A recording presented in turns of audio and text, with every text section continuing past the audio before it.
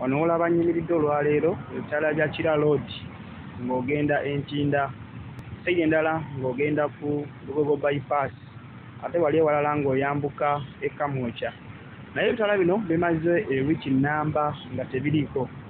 So gwalaba akavidiyo kano nsaba okantambulize oba okatambulize abantu abavudde ne basaba luba tv okukikwata katuke kwabo bekikwatako batereze ebitaala tujjukira nti abantu wano wenkugamba emabega awo waaliwo accident eyava ku kimotoka ekinene ekyali kiva eri wansi nga kikkirira awo wenyini wali wansi wolaba ye poliisi nga bwe mbadde nkunyumiza.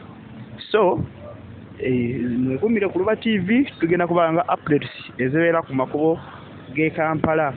Genda bugenzi wali eri ku facebook wandikamu luba tv genda bugenzi wali eri ku twitter wandikamu luba tv genda bugenzi wali eri ku youtube wandikamu luba tv osubscribinge. So ekuwaito ekyali olunaku lwali olukedde nga lwa kinyikagobe. Kevolaba jamu tewali nnyo ekikubo kyolaba wali kyambuka ntinda ekikiira kiba kigenda olugogo bypass. So jamu tewali mungi nnyo olw'enkuba ekedde ofudde emba mu bitundu bya kampala ebitali bimu.